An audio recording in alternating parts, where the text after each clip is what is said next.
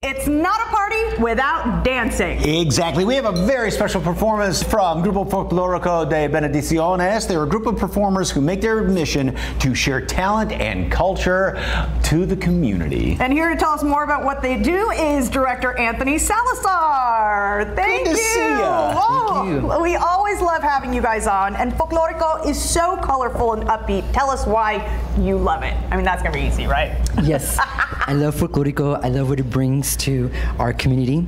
Uh, we do a lot of fiesta events, so that's really awesome to be part of.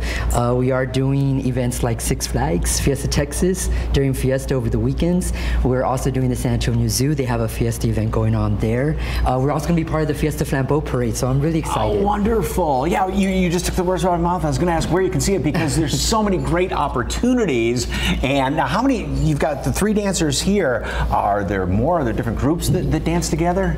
Well, we're always looking for experienced dancers. Okay. So we're a group of professional dancers. We perform at an advanced level. So this is just some of the dancers, but we have more of them. Okay. Yes. And it's not just during Fiesta, as you mentioned, kind of all year long at different places, right? Yes. Okay. And tell us about the culture behind Folklorico.